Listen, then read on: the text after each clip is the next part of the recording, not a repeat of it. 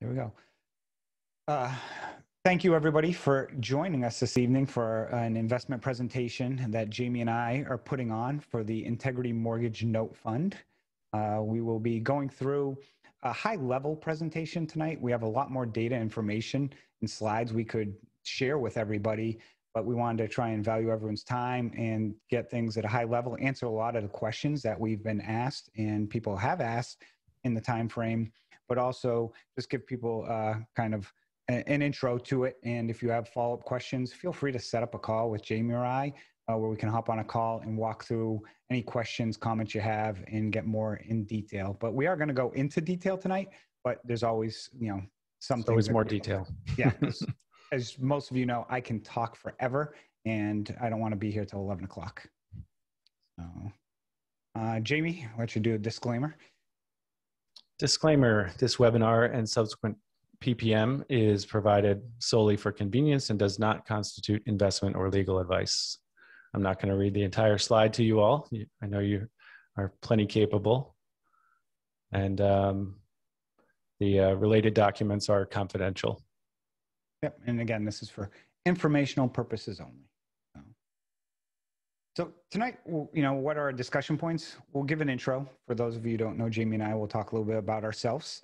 and we'll roll into uh, the notes and bolts, which is what is the Integrity Mortgage Note Fund, uh, the opportunities we're going to be looking to target, the structure of the fund with the financial projections, and then uh, we'll have some Q and A's at the end for everybody uh, at that point in time as well. Chris, you want to talk about me? just kidding. Just kidding. Yeah. So I know several of you have, have invested with Chris before. Many of you may not be as familiar with me. Um, I have been an active real estate investor since 2010 and um, primarily focused on rental properties initially, uh, single family rentals. We did several rehabs and uh, we still, we have a, we've been slowly growing our rental portfolio over the last few years. Um, but about three three and a half years ago transitioned over to mortgage notes and um, still have the the rental property uh, part of things going but probably 90% of my time and energy as far as uh, business goes is uh, focused on mortgage notes. So i'm not going to read this this slide to you either but um, i do have experience in the title business and mortgage business. Uh, i worked for a title company years ago as a settlement officer as a notary driving around all around the state of Maryland, uh, explaining documents to people doing refinances. This was pre pre crash, if you will, uh, 2002 uh, to 2004 ish, and then I worked for a, a mortgage broker in the funding department. Working, uh, I also worked in the funding department at the at the uh, title company as well. Uh, served as a captain in the U.S. Army. I've, I've held numerous leadership positions uh, professionally, uh, as well as coaching. Um, but uh, like I like I mentioned, the last few years have transitioned over to primarily investing in first lien mortgage notes, both performing and non-performing. And I find it a fascinating and really promising asset class. I'm really intrigued by it and and uh, have started to do well with it. Um, Chris and I uh, I've worked together for about three years now. Chris has been doing notes for a little bit longer. Um, and that's a little bit about me. I mean, I, I definitely uh, recommend if, if anybody watching this or listening to this, if you're not familiar with either of us, absolutely do, do a background check, do your research on us, because that's really the number one uh, key piece in my mind if I'm a, a passive investor looking to invest in, in this fund. Thanks, Jamie. And uh, for those that don't know me, I am Chris Seveney. I've been in real estate uh, since I graduated college in the late 90s. I worked my way from uh, working for a general contractor for 15 years. Then I made the swap to a developer uh, around the 2011 12 timeframe. Uh, at that point in time, the individual I was working for also was very entrepreneurial and had a lot of rentals and other uh, assets in his portfolio and basically looked at me and said, you know, what are you doing? You know you gotta you gotta grow your own. You know you're not going to be able to retire based off of just your nine to five job. So for me uh, for most of you know the story we built our single family residence took the equity out of that but did some BRRRR strategies. My wife and i are in the washington d.c area. Very difficult uh, to scale in this market um, without excessive cash and a lot of time. And it was really more of the time than the cash because of just trying to get assets. Jamie's not too far from me; he's about an hour north of uh, DC. Um, mm-hmm. and uh, interesting story I'll share. Um, you know how Jamie and I kind of got acquainted was Jamie, um, you know, was a JV partner of mine, and we did a deal together. And then through that time, he started buying his own assets, and you know, we'd always consult and go back and forth on things and use each other as sounding boards, similar to how I used to with Gail Greenberg. Uh, and Jamie continued to grow his business, um, got over 40 notes in his portfolio, um, and that's kind of how we got together for me, I've got uh, over right around 300 active notes um, in the portfolio right now. Uh, bought and sold probably over 400 notes in five years. So uh, I've been pretty active. Uh, and really, most of those have been since uh, 2019. In 2019, I bought over 100 notes. 2020, uh, over 100 this year. I think to date, I'm somewhere between 75 and 100 notes already acquired in the first quarter.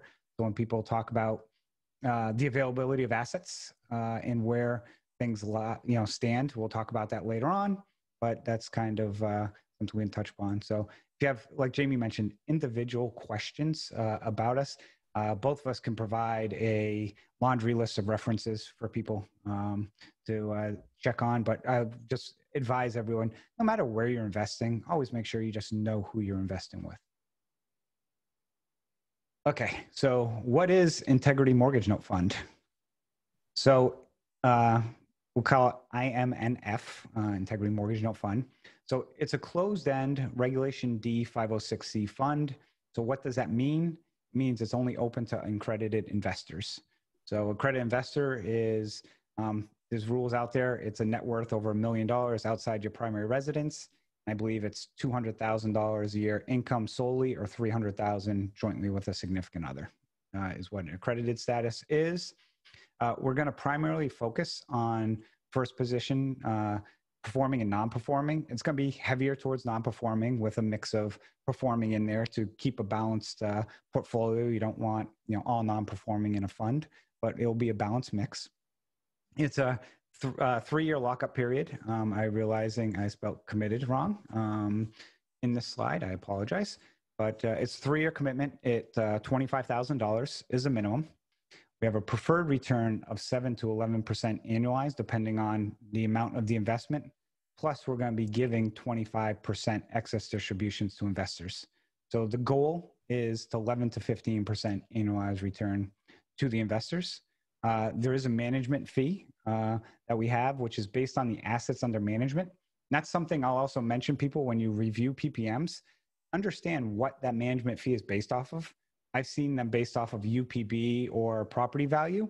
And when you're buying assets at 50 cents on the dollar or even less, uh, that management fee isn't based off of the money that they've raised. It's based off of that. It can, um, you know, enhance the uh, the sponsors' numbers. So uh, those are a few of things. Uh, I'll mention also the PPM and the documents were written by Brian Gallagher, who's an attorney that uh, out of Maryland, who I use a lot. He's written. Uh, this is the fifth PPM he has written for me. So I just wanted to kind of touch upon that, and also, you know, the excess distributions. Um, that's something we just wanted to share with people because a lot of funds you're going to see out there right now uh, and we're not trying to compete with others, um, but we just like to compare and use comparisons where a lot of the other funds will mention, you know, just have preferred returns up to a specific number. We want to give investors a little bit of that upside uh, as well versus just a preferred return.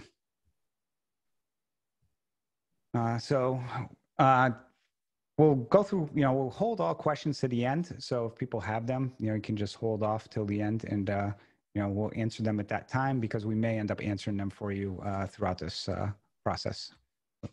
Next is going to be target returns. I'll let Jamie talk about kind of the profile for what we're targeting.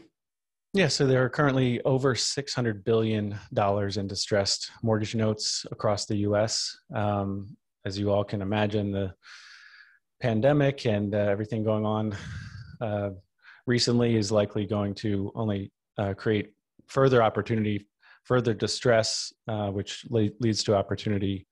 And so essentially we're looking at these four primary components when it comes to profiling the assets that we're going to target. So location, location, location.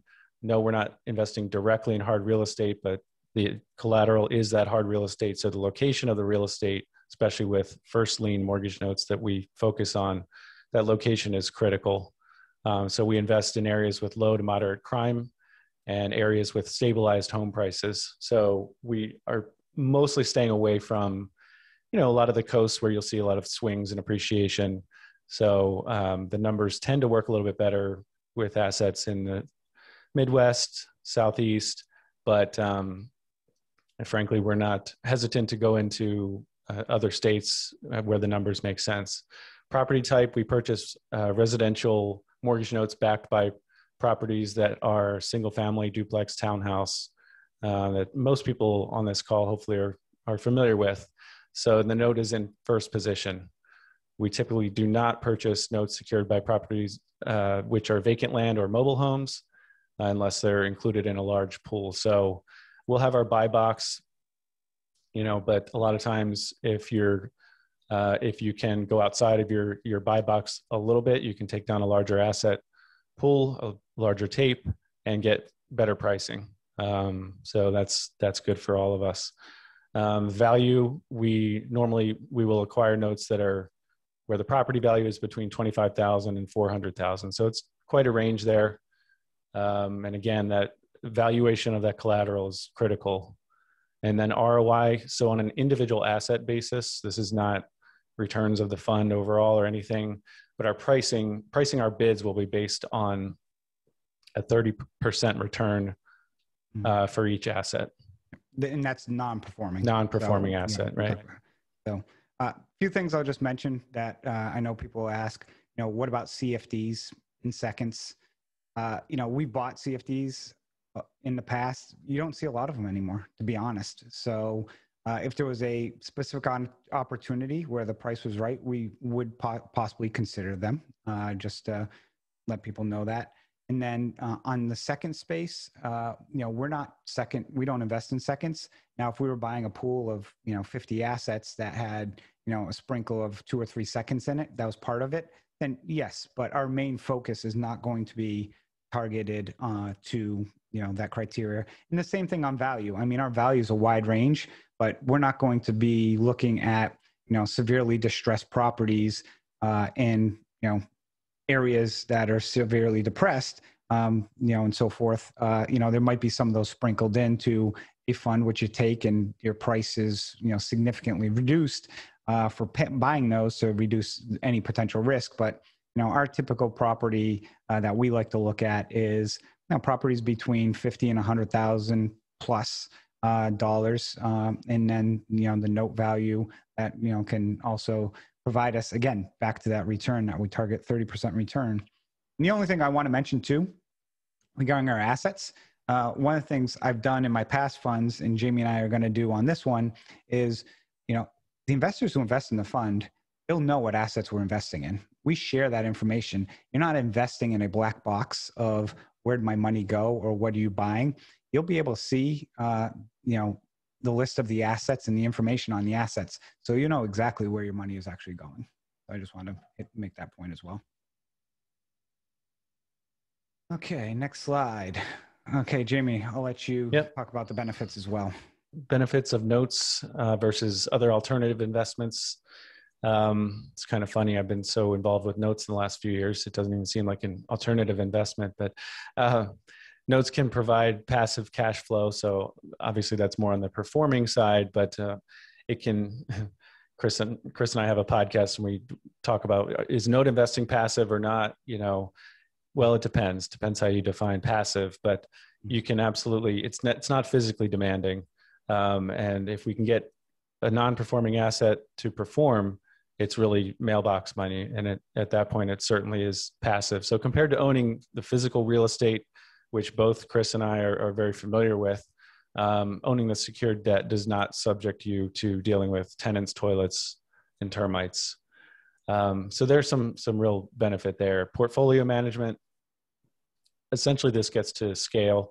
Uh, you can you can do this from from anywhere, Um, so you know you don't need to be driving to. I think uh, uh, our JV deal that we did, Chris, is the only property I've actually personally been to uh, with my uh, own note portfolio, if you will. So um, there's no need to physically, you know, uh, go to these these assets and and check them out. So it's portfolio management is definitely a benefit with note investing. Um, so the management, obviously, Chris and I are the primary managers of the fund, but we will have a team of vendors and people we work with regularly, uh, comprising attorneys, a servicing company, realtors, preservation companies, and other vendors for sure. Um, unlike rentals, like I said, where investors often um, invest in their own backyard, they want maybe oftentimes want to go and see the property, see that it's still standing, and that's how I started out with my own rental portfolio. A note portfolio can be more diversified geographically, which really helps mitigate some of that risk and spread the, the risk out uh, from a geographic standpoint. So portfolio management definitely is a benefit with note investing. Um, profit, profitability and varying market conditions. Um, we're certainly seeing some varying market conditions for sure, but there's always a, uh, an opportunity behind distress, like I said earlier, and um, you know, note prices in the marketplace function in relation to supply and demand. So they are they can be correlated to real estate values.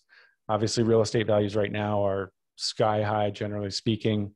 That's only a benefit with regard to notes because that's your collateral. So that's that's a good thing. It makes the safety even a, more of a factor there. Um, the big difference with notes is that profits increase in a down market. Like I said, we're going to see more and more distress, which means more and more opportunity. Note prices are going to go down, which means that's a buying opportunity. So even in a down economy, people need a place to live.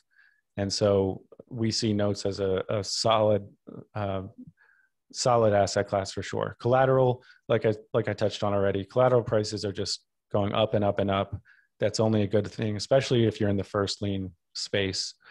Versatility, there are numerous exit strategies with notes. You know, we're not going to sit here and tell you that we're going to predict every every uh, exit for every deal that we acquire. You can't always predict every one, but we both Chris and I have experience with just about every exit strategy when it comes to non-performing assets, and that may be getting the borrower to reperform, that may be doing a modification, selling that reperforming note that may be foreclosing if we have to. That's not our first choice. You know we certainly want to work with with borrowers and keep them in their homes. Um, but numerous exit strategies with non-performers. We may buy some performing notes you know that that helps with cash flow keeps the fund moving forward and keeps it profitable for everyone. Um, those obviously you're not able to add quite as much value to as as you are with a non-performing asset. So lots of exit strategies. It's one of the things that really did draw me to notes initially. Um, you know, so in, in my mind, you're kind of getting in a little bit earlier in the uh, the cycle, if you will. And so, you know, I've exited non-performing notes uh, through a, a buy and hold rental property that I still hold in Jacksonville, for example. So, you know, there's there's lots of lots of versatility with notes. I've even created my own exit strategies. I'm sure you have. I've been able to get a little creative um, on certain some of these. It's uh, when you just kind of run ideas through. Uh, so next, I want to talk about market research, and what I want to talk about on this is really what's going on in the world today, because that's the number one question everyone asks uh, regarding uh, the note space and real estate in general. And it's interesting because uh, some of you know uh, end of last year, I finished my uh, studies at Georgetown, which I was getting a master's in real estate um, development finance uh, from there. And my thesis actually was basically the Integrity Mortgage Note Fund. It was raising money for a, uh, a, a note fund. So I had to do a lot of market research and I had access to a lot of uh, scholar reports and reports from a lot of really smart people on kind of the economy in general, where things are headed and where they continue to head. And one of the things that, you know, with COVID, you know, that we were seeing was, you know, 2020, you know, as an outlier with the delinquencies increasing. And how is that going to affect into 2021, which we're in now? And then what is the government going to do to try and slow down a lot of these delinquencies which they only really can control about half the loans in the country because those are the ones that are covered by the government sponsored entities, Fannie and the Freddie, where the other half of loans in this country are really owned by the banks may hold them or private investors, hedge funds, us and other investors. Uh, so, you know, things we've really start seeing is those those foreclosure rates and transition rates um, where loans are moving. You can see the 60 to 90 days in the bottom, you know, of the slide. Uh, you know where things are really starting to move. But what really, uh, you know, I saw this the other day. Really opens everybody's eyes is the FHA delinquency rates, which an FHA loan typically only requires about three percent down. And I believe back in 2008, 9, 10, that rate fluctuated between about 14 and 16%. And right now, we're up over 17%. Now, the differences between a decade ago and now is a lot of people have equity in the property, which they didn't have back then. Now, could that equity evaporate? Yes, it could. But what you may see is you may see more bankruptcies uh, which you know bankruptcy is something that I've got a lot of experience in. Jamie's got experience in in buying notes, and actually I love buying in bankruptcy uh, because it opens up a lot of information that's unavailable to the investor. But just to kind of share with people where we think the market is going, uh, you can clearly see, I think, where things are at. We're going to start to see a lot more delinquencies coming. Now, the time frame, nobody can know because it's really going to be controlled by the states and the government. Uh, but one of the things that we do is we want to make sure we do when we bid on assets. Uh, for example, you know we do take into consideration longer foreclosure timeframes on delinquent loans. I've been doing that for over a year now. Um, you know, Jamie's been doing the same thing. So it's something that you know, if it's a 12 month uh, foreclosure timeframe, I may pencil it out at 18 to 20 months, and that's how we come to our number uh, from that perspective. But again, crystal ball we're going to see more. We're going to probably see more distressed debt come on the market. Question is, when is it really going to open up? And we don't know because uh, really the government has a lot of uh, the uh, you know the control over that at this point in time. So now we're going to roll into the fund structure, and we'll spend a few minutes on the slide because there's a lot of information on it. Jamie will go through it, and uh, you know together we can uh, discuss uh, some of the topics on this as well. Yeah, so the fund structure, um, CCAS Capital is an LLC of mine. Chris and I will co-manage and uh, provide strategic direction together, and then we'll partner with outside investors. Uh, hopefully, many of you listening and watching tonight, and uh, we'll put our funds into the fund, and then we'll buy uh, non-performing and performing notes. So we'll we'll have four different classes: class A, B, C, and D, and each of those classes will correlate to a specific preferred return. So class A, um, you know, I think you get the point seven, eight, nine, 10, 11. So um, the fund revenue comes in. You can see the the diagram here. I'm not going to read the whole thing to you, um, but we will pay out the preferred return prior to taking the management fee and then we will distribute excess distributable cash with the 25 to 75 split. So that's one of the things, again, to highlight uh, for investors and um, that the, you know, we are paying the preferred return before the management fee. Uh, so that's one thing I just want to reiterate to people is the investors get paid first. So they would get that. And then after we get the fee, if there's excess distributable, that will get um, distributed down the line and so forth. And the way the excess distributable is determined, it's on a yearly basis. Uh, we use a third party bookkeeper who will you know do the books and then we have a third party cpa who provides returns the tax returns and typically we'll also do what's called a balance sheet audit uh, for them to review and analyze the balance sheet uh, for, for investors as well. I'll, I'll, stipulate to people it's a little different than a full GAAP audit. A full GAAP audit looks at policies, procedures. It's really more for larger firms. If investors wanted us to go down that road, we'd be more than happy to do it. But just to give you an idea, a balance sheet audit is really looking at all the expenses and making sure you know things are done properly and you know that cost is X to do the GAAP audit because of the reporting process that they'd have to do is about 3X. So um, typically in the past, investors in my other funds have been happy with the audits that have been getting done, but uh, we can do, uh, you know, whatever the investors want, honestly. Um, and we do, again, provide copies of the books, um, you know, on a, to the investors uh, at request as well and issue them a quarterly basis when we issue the returns.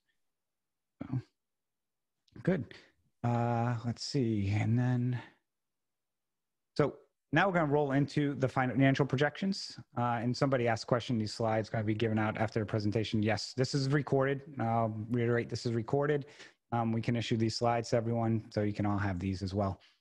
Uh, so as Jamie mentioned earlier, here's kind of the anticipated returns um, for performing, sub-performing, non-performing, and deed in lieu, uh, kind of where things fall. I'm not going to spend a lot of time on this uh, slide, um, but typically you're performing, we're at 10 to 12, and then 25, um, you know, is what we target. You know, like we mentioned, we pencil them out at 30.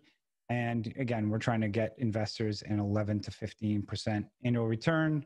We just want to again reiterate, you know, that funds inherently speculative. There's no specific return on capital um, or anything we can promise or guarantee. So we just want to reiterate that again.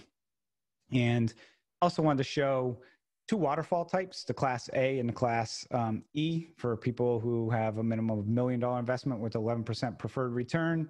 Uh, we show the graph to basically show, you know, the percentage that all goes to the members up front before we see anything. Uh, and then once it hits that 11% mark, you know, then it starts getting distributed, but you can still see um, where things fall on this uh, from that perspective. And then on the class E, we'll just show, and again, we have slides in the full presentation. We'll send these out to everyone. We have one for each individual, you know, each class member, but we didn't need to go through them uh, all tonight. Just kind of wanted to give people an idea, but it's very similar. Um, people with the minimum investment, again, they get their preferred return before any of these uh, come targeting our way. So I just wanted to um, mention that as well. Uh, few things I also just want to mention while we're on the distributions. Uh, they are issued on a quarterly basis. Uh, we still try and target that first quarter to hit distributions, but sometimes it might be challenging because when you look at how the note buying process goes, you close the fund. Even if we had assets under agreement at that time, you know, still have to do due diligence, which would probably take two to three weeks. Then about four to five weeks to board that loan. You're already at two months. So, um, you know, there are some initial fund expenses of, you know, creating the PPM and stuff. So we try and get those covered. But if there was an asset that maybe got paid off or something, but, you know, we, we always try our best, but the first quarter possibly, um, then second quarter would be kind of that target. If we miss a quarter, there is, uh, you know, it's not like it's lost. It gets made up. Back to you. Clawback is another term that they'll use.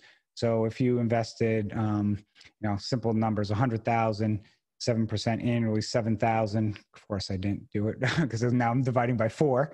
Um, you know, from that perspective, which is about 1677, um, you know, you'd be do that plus the, uh, that second component um, in that time. So I just want to mention that as well uh, from that. And the excess is issued on a yearly basis. Jamie, were you going to mention something? Oh, just the 100,000 is 8%. So um, oh, might, might actually be easier math for you. But yeah, the uh, preferred return is hmm. quarterly, but it may not be for a few quarters essentially. Hmm. And then the uh, profit splits or excess distribution would be annually. Yeah. So, and the other thing I'll mention is if you want to reinvest your distributions, you have that ability to.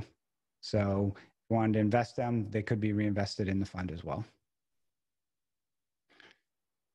So next steps, Jamie, do you want to kind of roll through this and then we'll take on some questions? Yeah, next steps, if you are interested in investing, you'd complete a subscription agreement and questionnaire. Uh, we would submit Form D and then uh, the fund subclasses are closed. So we'll determine exactly what date this first subclass will be closed. We're anticipating sometime mid-May. Um, and then investors provide funds, operating agreement is executed, and then uh, we acquire assets. That's a, that's when the fun begins. Yeah. the So- fun and the fund. yeah, and just so everyone's aware, um, you know, a Form D, because I have people ask, that's a form that our attorney fills out when we have an investor, whatever state you're in, we have to submit to the state that we have an investor in that state um, submitted to to know that they're investing in the fund. So just want to highlight that. So, um, and next, uh, basically, you know, questions for people. Um, happy to answer questions uh, for investors. Uh, if people have any, feel free to either you can put them in the chat or put them in the Q and A. Uh, either one.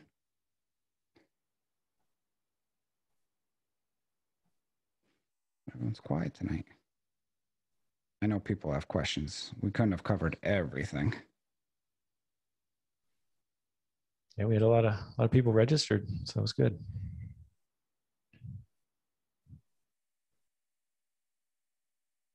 Okay, how is AUM calculated? So the assets under management calculated?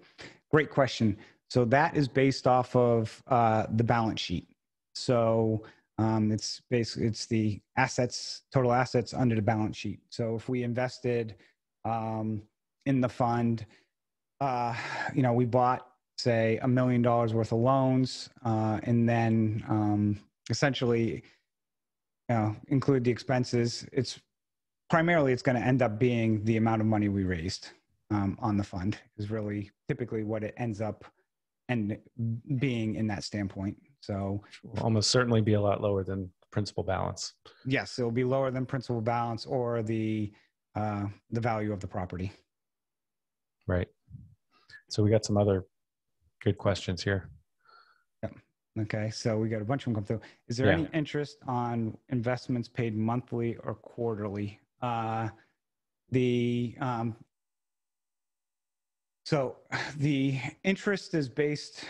Uh, so the interest does not compound um, in that sense, but if you reinvest it, then it does go to add to your actual investment for share purposes, and then that would end up increasing the interest uh, from that perspective.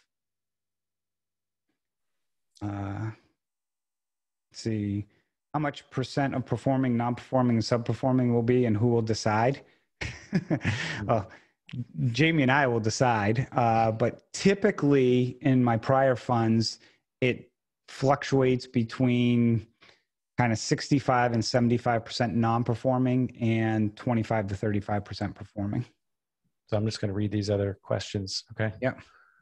Um, how does this fund differ from your existing fund, Chris? So this one is uh, very, it's similar to some of the other funds I've had.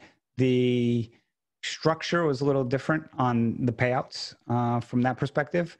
And the main difference on this fund also is while this fund is a closed fund, it's also open in the same time, meaning that uh, the integrity mortgage note from a year from now, if people were like, okay, I didn't want to invest today, but maybe in a year from now, they could invest in the fund, but it would be a completely separate investment and your assets and everything would be different from the people who invest in today. So it's like two separate LLCs or a series LLC. They're called, I believe, subclasses in the. Uh, It's really like a in the fund. separate fund. Yeah. Subclass. Yeah. Um, so you two have worked together. I like this question, Dan. Mhm. You two have worked together for a while, but running a business is stressful. If you two don't get along, what happens? Who stays? Apologies for the tough question, but it's important. Yeah, it is important. So uh, I wouldn't arm wrestle because I'd lose uh, from that perspective. Um, that, no, that's, I mean, that's a great question. And Jamie and I, uh, you know, have, like I said, we've been working together. We've done note deals together. Uh, the way we've structured it, so people, because this is probably another question, who's doing what in the fund, uh, is there's certain states Jamie is very experienced in and has a lot of assets in, and there's certain states that I have a lot of assets in. And that's one of the things that we're going to have each person take the lead on, and then the other person be that sounding board to review and basically, you know, assi- not assist, but basically be, you know, question certain things or kind of be, you know, hey, this is what we're thinking, this is what we may do from that perspective. if it became a point where uh, we could not get a long, uh, then we of course would do what's in the best interest of the investors. Uh, you know, Jamie and I are also going to be investing in this fund, so we have uh, you know more than just management. Um, uh, you know, dollars or time spent into this. So we're going to also have our investment in that.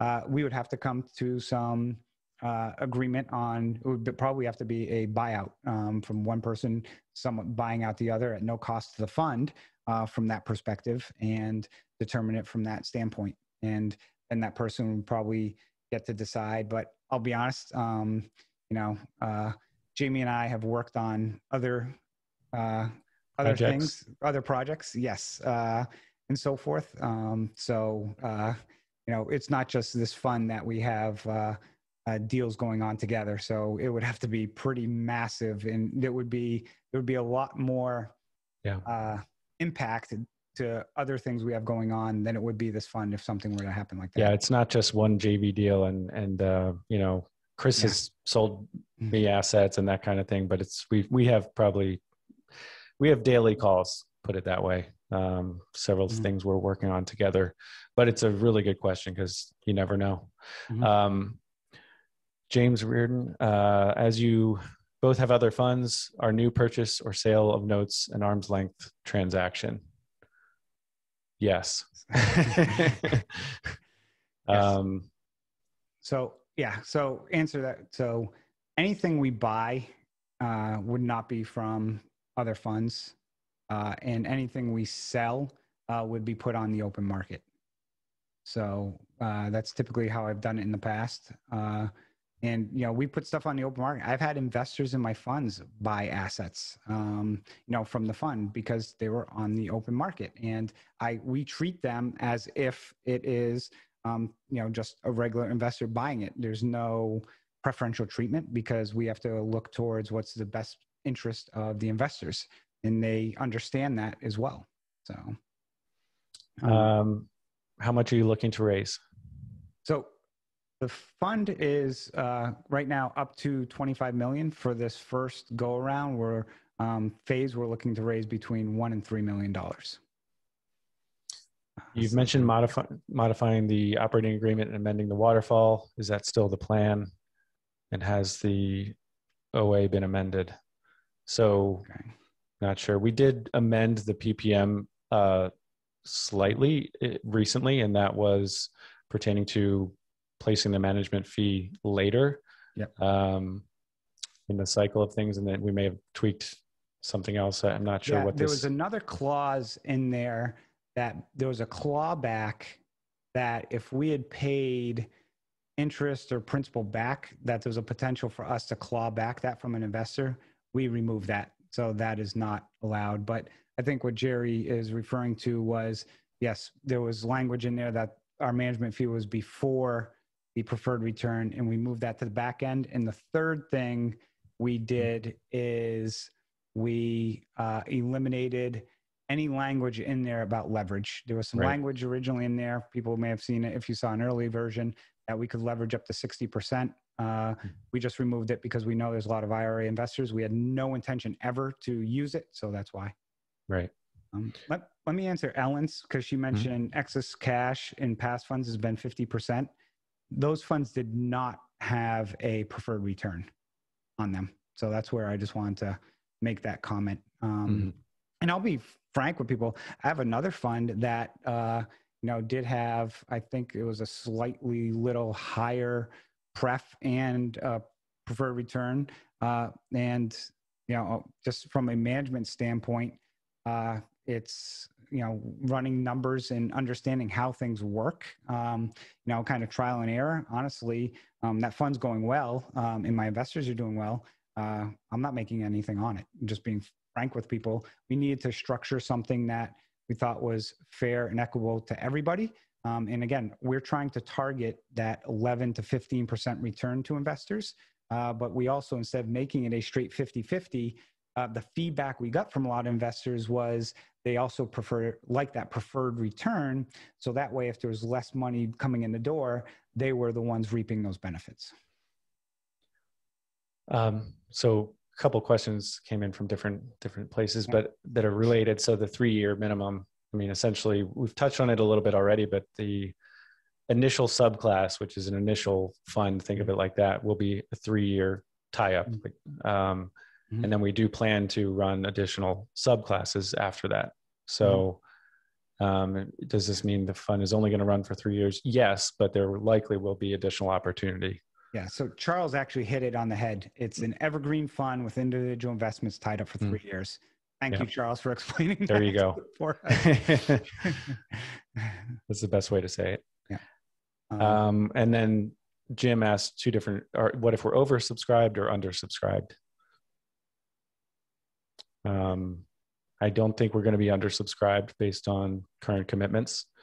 Mm-hmm. And then oversubscribed, we could certainly you know hire additional help if need be we're both fairly plugged into the kind of the note space and i don't think we, we you know i'll be honest chris is a machine with you know with your systems and everything and uh, i think we both have our systems down i know i've in 2020 really worked to get our our systems really locked in so um, there's certainly a number where we we wouldn't mm-hmm. wouldn't go above, but uh, I'm not sure what that number is, frankly. Yeah, and here's uh, I'll add to that question too: is if we felt we're at a number that we can't implement and get that money out the door, we're not going to take it.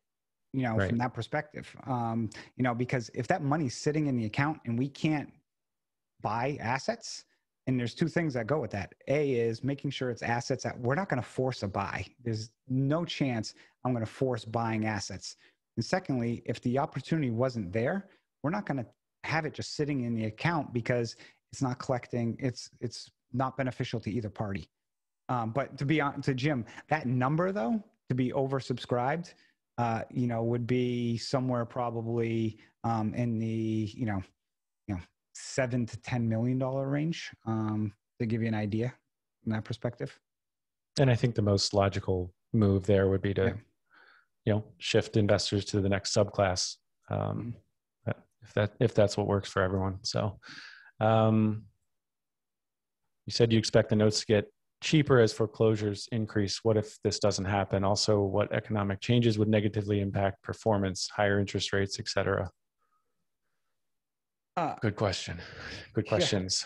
Yeah. so let me. So first, um, do we expect notes to get cheaper as foreclosures increase? Yes, but if they don't, you know, I'm still buying assets today. Like I mentioned earlier on, I bought you know a good amount of assets this year um, at very good pricing. Uh, from that perspective, I think pricing will probably slightly continue to de- decrease over time. If it doesn't, I don't think it has a negative impact on our buying because we're going to bid based off of specific returns and we're not going to overpay. Now, economic changes that negatively impact performance, it wouldn't be high interest rates. Uh, if we were buying a lot more performing, I'd say it's jobs. Buying the non performing, it's housing pricing. You know, is going to be now if we're buying non performing that have equity in them, uh, it's not going to be pretty much won't have really any impact or very slight. If it's a $150,000 payoff on a $100,000 house that we may have bought for 50,000, uh, if that property now drops to 80,000, then yeah, there's a 20% um, decline in our profits and our profits on that deal might only be, um, you know, double digits or 10% versus the 30% but it's something you know we're going to continue to monitor and watch uh, from that perspective. And you know when we buy assets there is a science there's an art and a science behind it. And you know there's it's not just like you buy one asset you really got to focus your portfolio and kind of sculpture that portfolio to minimize the risk. And how you do that is you know it's not simple. You know as you start plugging in the pieces um, as you start acquiring things you have to start looking at okay i need some assets like this like that because you still want to maximize that return but also minimize the risk. So that's one of the things that is i think challenging but you know be honest jamie and i um, you know have that experience and that's one of the things why i think you know we can minimize that risk. The other things i'll mention about minimizing risk for example and jamie we're going to talk about this but everyone talks about the three major components of note investing. You'll be careful of taxes title and um, you know basically and you know property value slash insurance. Uh, so for title, we struck a deal with a title company who gives us an insurance policy. If they screw up and miss the fact that taxes, they miss taxes were sold or anything along those lines, now they're, we're insured up to $50,000. So, you know, that's um, on, that's on the title side of things. Um, but on taxes as well, you know, we've got a backup to that is after we buy the asset, we've got a company that handles all the taxes for us. And what they're going to do is basically make sure taxes get paid. They run a report that shows us, um, you know, at least once per year to twice per year. If it's delinquent, they'll run it to us. And if they screw up, again, we've got an insurance policy against them. And these are all written in contracts, by the way. And third is on the insurance um, component, we've got a deal with an insurance provider basically the same thing. They're going to handle the insurance by sending the letters, doing all the work.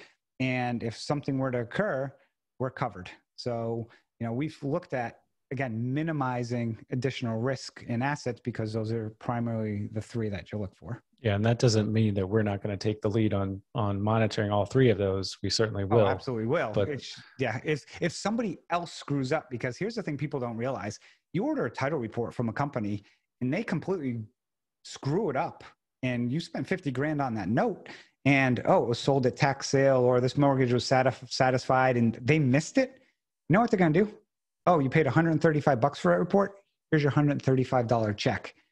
You know, and then you're going to go kicking and screaming and then they're going to show you well it's for informational purposes only you know that's a risk i don't want to take jamie don't want to take so we you know work deals out to make sure we have that took so us a while why, to find it so just uh, i know we're running a little long on time so a few more questions why limit the cap to uh, $400000 value for an asset I mean, honestly, it's just where the numbers work, where we have teams on the ground, where where um, the the laws. I mean, so much of this is very state specific with regard to the the foreclosure laws and what judicial versus non judicial. Um, the numbers just don't don't work in California for something. Well, here's the thing: we're probably not going to buy in California. A, but the other component to it is if you're buying an eight hundred thousand dollar note and they're delinquent that person's going to have three attorneys basically fighting you tooth and nail. Yeah. And true. you're just going to run up legal costs, you know, very high. And that's why typically, like you mentioned, a $400,000 asset in, you know, Virginia or Northern Virginia, where I am, you know, and a $400,000 asset in Fort Wayne, Indiana, nothing against Fort Wayne, uh, I got assets there, is going to be considerably different. It's probably a $2 million asset here. Other thing to mention with that, real quickly, is mm. uh, most of the assets we buy are the mortgage payment is significantly lower than what the rent would be. So mm. that encourages the borrower to want to work with us. So when you're talking high end, five hundred million dollar, two million dollar properties, that's typically not the case. So you, you know, typically that mortgage payment is substantially higher than the rent would be in that area. Mm-hmm. And so we just feel like we work out of a, a position of strength in, in the yeah if you want to call it the lower lower property values. Yeah. And um, you know, from the I'll also add to that is sellers on those higher notes want a significantly higher price right. on those from a percentage standpoint. So it gives you a lot less wiggle room if something were to go wrong uh, from that perspective. So. Uh, and perfect example is I have a note right now in Maryland. It's a five hundred fifty thousand dollar house, five hundred thousand uh, mortgage on the property, and this uh, borrower has already um, tried to get federal court involved twice. They've subpoenaed the FBI, the CIA.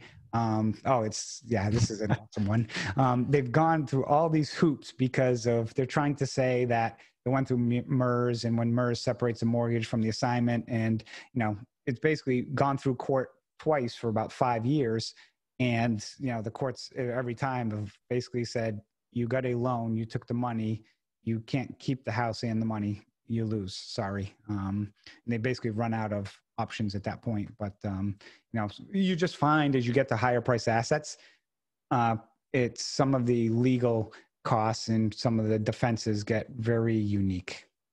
Mm-hmm. Um, from where do you source most of your notes? I don't know if we're going to disclose that tonight. well, I mean, I'll tell you. I mean, I've 80% of my notes are bought from three funds. You know, and I bought, you know, and I continue to um, add additional funds. I've got uh, some due diligence I did last week on some assets from another fund as well, um, a larger fund who I'm looking to build a relationship with them. Uh, as you continue to grow and make a, you know, I bought a lot of assets from people and I do what I say I'm going to do. I close on the deals. You get, um, you know, they, they come get, back to you. They come back to you. Yeah. Mm-hmm. And uh, from that perspective, uh, so I, will just mention typically we are not buying from banks.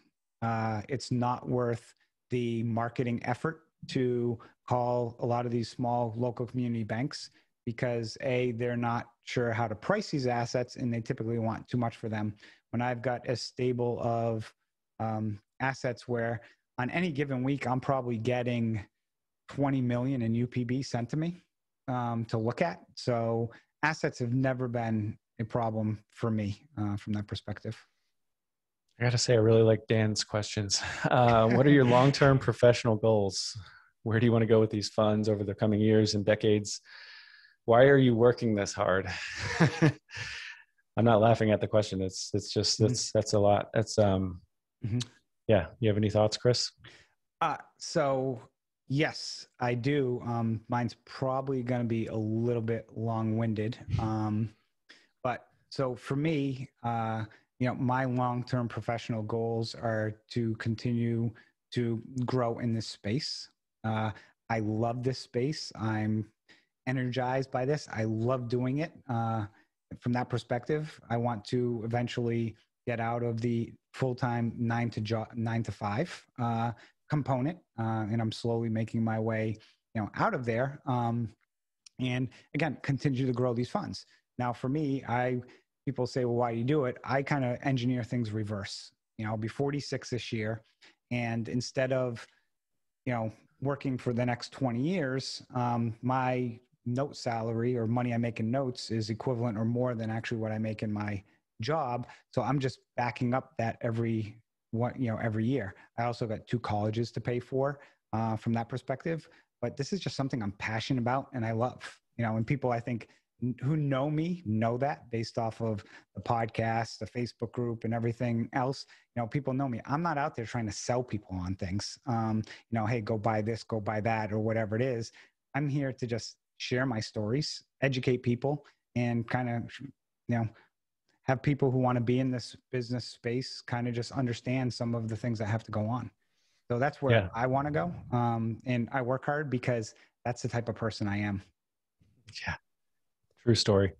Um, yeah, I mean, I'm not gonna. We, we can do a whole podcast episode on this these topics, but um, I just love running my own business. I love working with people who like to take advantage or take control of their own future, their own financial situation. I love real estate. Um, so I still work two days per week for the Department of Defense. So I do have actually, believe it or not, a little more free time than Chris to devote to this. No, you don't. Um, well, it's debatable, but um, I don't know what where I'll be in ten years. But I absolutely love running my own business. I love real estate. I love notes. Mm. I love uh, personal finance and investing. So um, mm. it's kind of what motivates me. Yeah. And um, uh, how much of our own money are we putting into the fund? So we want to take a yeah, crack at I that. I mean, I'll well, I'll answer yes. I'm investing. I haven't finalized that amount yet, uh, and here's the reason why: is you know my wife and I are finishing up our taxes. Uh, you know we're we've got money put aside for this, but we also want to make sure we have money put aside for certain other things like college and so forth. So we don't want to I'll say oversubscribe ourselves to this and have to take money out later on. Um, so we haven't decided. I'm, I'm just I haven't decided yet uh, from that, but I'll be putting in, um, you know, we're definitely going to be investing. I know that, uh, you know, and I've got money already set aside um, that I can invest. It's just a matter of am I putting that or am I putting more? So, my, for me, it'll be between it'll be between twenty five and hundred k. Yeah. So. Yeah, that's probably. I mean, that's my my. yeah, I mean, yeah. numbers. Yes, that's that's where my range will be. Now, I'll also mention, um, you know, for people you know, well, if they said, well, why wasn't it more? Well, I also have um, several other funds that I'm managing that I also have, I've invested in as well. And uh, notes is not, you know, the only thing that I invest in, um, just like Jamie. And that's, I recommend everybody don't put all your eggs in one basket. Um, you know, I don't know what the doggy coin do or whatever today. Jim. I don't know. I still Uh, still have to Google yeah, what that actually do- is. Yeah, I don't do stocks, Bitcoin. My wife does the stocks, but I've got a nephew who does that coin, and he's made like ten grand. So he's thinking he's uh, Genius. now. Yeah, exactly. Um. Okay. Uh, we are actually hitting. Wow, we timed this perfectly with one hour. Um. Anybody else have any questions? Is there anything we did not answer? Anything people would like us to answer uh, from that perspective? Uh, if people do have questions, you can email me, um, Chris at 7e Investments. And Jamie, your email is batemanjames at labradorlending.com. Uh, you know, if you guys uh, need to find us, we're pretty much easily available to find online as well. So, There is the uh, you, we have the integritynotefund.com, and then I have some information on my website labradorlending.com. Uh, I have an FAQ uh, sheet there as well. So yep. and like I said, this is recorded. Uh, we'll also be sending out um, the slides, but it's going to be there'll be more slides involved um, than what we did. We just kind of did a condensed version tonight, so you'll see uh, more detailed slides that we'll be sending out to people. So you'll have those uh, as well. Good. Well, nobody has any other questions. Uh, we'll wrap it up for the evening. And again, we want to thank everyone for spending the time this evening uh, to you know spend it with us uh, for this hour. We hope we were able to educate you. And like we mentioned early on, whatever decision or whoever you invest in, in any opportunity, please, please, please just do your due diligence on them. You know, it takes, and if you don't know what to do, email or call somebody. You know, if somebody said, "Hey, I'm not sure what to do," I can run a quick skip trace on that person in literally 30 seconds. It cost me, I think, 80 cents. Um, and you know, mine's a dollar. How'd you get that? because I run more than 150 a month. Um, so I run Got it. That's why. Um, so yeah, just you know, we can we can search that information for you, and trust me, I don't charge people 80 cents to run it for them uh, from that perspective. So again, thank you all for joining this evening, and uh, look forward to hearing from you later on. Thanks, everyone.